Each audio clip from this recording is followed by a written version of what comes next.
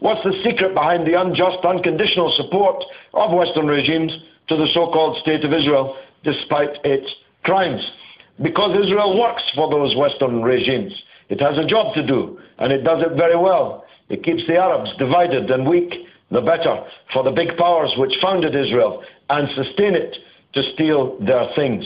That's the job of Israel. It does it. The question is really why the rest, of us allow it to happen. I'm going to be traveling on my uh, convoy through Morocco, Algeria, Tunisia, Libya, Egypt. I hope to get the pulse of the Arab people in the Maghreb and in the Great Egypt on our way to Gaza.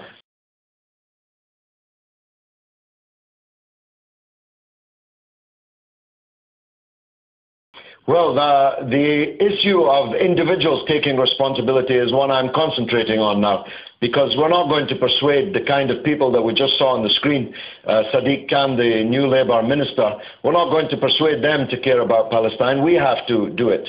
We have to boycott all Israeli products in whichever shop they are sold. We don't need to boycott any particular shop. We should boycott Israeli products in all shops.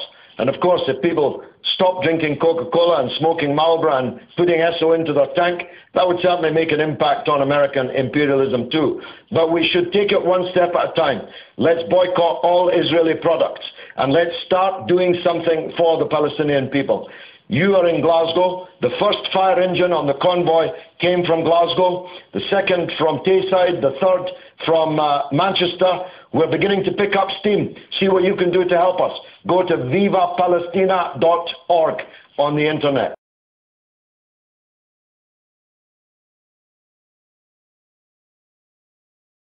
Given that Israel has deliberately ignored a UN resolution demanding an immediate ceasefire, it also continues to use illegal weapons to attack citizens and various UN buildings, all in full and open view of the international community, do you think it is now time for the countries of the world to expel their Israeli ambassadors? Yes, I do. It's long past time. In fact, the only two countries to do so were Hugo Chavez in Venezuela and Evo Morales in Bolivia. And we should uh, salute and, uh, and hail these actions that were taken from so far away. But there are Israeli ambassadors in other Arab countries nearby, and that's the biggest disgrace of the lot.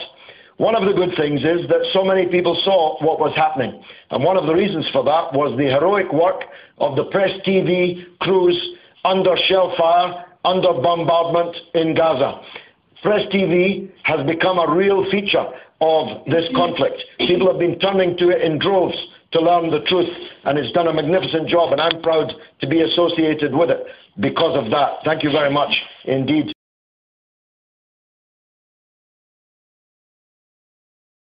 I would like to say to you personally, Mr. George Galloway, that your love for justice and truth might make you a target for an evil act by an evil person. I urge those who love the truth and justice to pray for your safety. May Allah protect you, Mr. George Galloway. Assalamu alaikum. Wa alaikum salam. Thank you very much, uh, madam. I am going on a hazardous trip, but I fear no one other than God. And if uh, God will protect me, I uh, will continue to use the breath that He gave me to cry out for justice. But I could do with your prayers as well, that's uh, for sure. The war crimes are now beginning to emerge, even in the Western media. The use of illegal weapons, white phosphorus, depleted uranium, the bombing of United Nations installations, the destruction of 61,000 homes, schools, clinics, hospitals are all now on our television screens, even on the uh, screens of the mainstream broadcasters here in the United Kingdom. The BBC continues to disgrace itself, having refused to allow a Disasters Emergency Committee commercial to be aired on the BBC because they thought it was biased in favour of the Palestinians, even though all the other broadcasters were ready to broadcast it. That's why we're demonstrating outside the BBC on Saturday in Portland Place in London.